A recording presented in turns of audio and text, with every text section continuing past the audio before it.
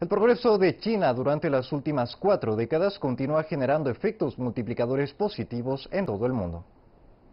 Una exposición con motivo del cuadragésimo aniversario de la reforma y apertura de China celebrada en el Museo Nacional en Beijing ha dado la bienvenida este martes a enviados de varios países del oeste asiático y del norte de África. Rica en imágenes históricas, vídeos, maquetas y pantallas, los visitantes tuvieron la oportunidad de sentir los inmensos cambios que ha experimentado el país desde finales de los años 70. Algunos de los enviados esperan poder utilizar la experiencia de China como modelo para lograr su propio desarrollo. Además, muchos de ellos muestran confianza respecto al futuro de China. Uh, la idea de la exposición es excelente, en particular para que la comunidad diplomática vea dónde estábamos antes, dónde nos encontramos ahora y hacia dónde nos dirigimos.